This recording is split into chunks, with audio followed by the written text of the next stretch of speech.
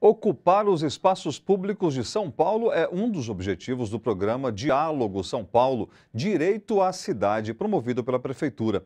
Para poder dar outro significado às ruas, praças e parques da capital, o poder público chamou a sociedade para debater políticas públicas de ocupação no município.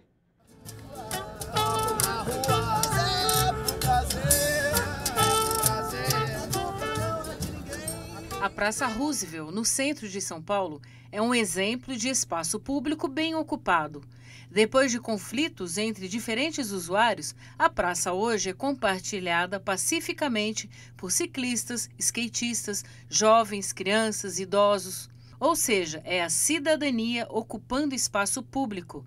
E a Praça Roosevelt foi o cenário deste diálogo entre a Secretaria Municipal de Direitos Humanos e a população para discutir este tipo de ocupação. A administração anterior era muito fechado para isso, né? É, com os militares que estavam na época nas subprefeituras, então era meio fechado e acho que a repressão era até maior. O morador é dono da sua casa, não é dono do espaço público. Então hoje em dia em São Paulo a gente tem uma pressão muito forte de consegues, que são Conselho de Segurança e Associação dos Moradores, querendo praticamente que São Paulo vire um túmulo. Ouviu que eles, é, as propostas que eles têm para poder estabelecer essa ponte de diálogo com a população que vem ocupando já as praças, os parques, né, os largos e tudo mais, e ver onde que a gente pode colaborar para isso também. Para o secretário Rogério Sotile, direitos humanos têm tudo a ver com direitos urbanos. A participação social e o sentimento de pertencimento à cidade como base para a construção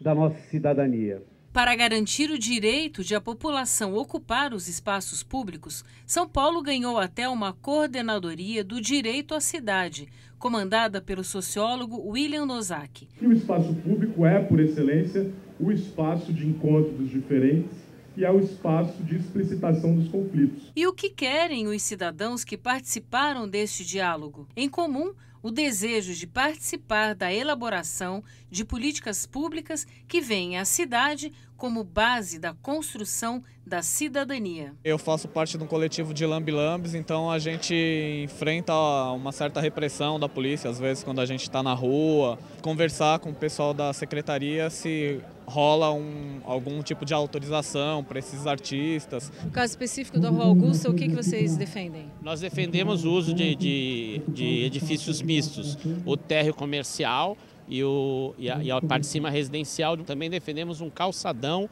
aos finais de semana. Em São Paulo tem muitos lugares privados, então acho essencial assim ter essa ocupação mesmo com, com tudo, com cinema. Acho que devia ter cinema em tudo quanto é praça, devia ter cinema ao ar livre nos, nos parques.